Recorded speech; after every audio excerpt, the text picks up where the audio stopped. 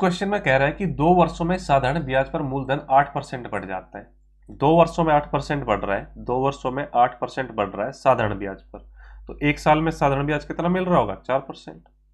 ठीक है। दस लाख रुपयों पर उसी दर से दो वर्षों के लिए चक्रवृद्धि ब्याज क्या होगा? तो भाई दो वर्ष के लिए दो दो वर्ष के लिए चक्रवृद्धि ब्याज निकालना है। चार परसेंट और चार परसेंट का सक्सेसिव क्या होता है?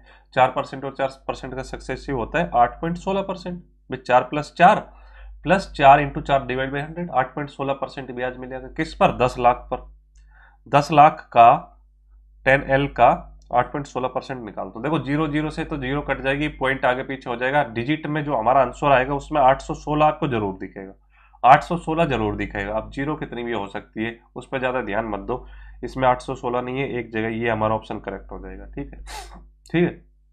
या आप देखो, दो ज़ीरो से लाख की दो ज़ीरो कट जाएगी, बाकी बची चार ज़ीरो जिसमें दो पॉइंट आगे आ जाएगा, और ये लाख में भाई एल का मतलब पाँच ज़ीरो हुई ना तो दो ज़ीरो कट गई, बाकी बची तीन ज़ीरो, चाहे तीन ज़ीरो, एक दस में चार ज़ीरो, इक्यासी हज़ार छह सौ।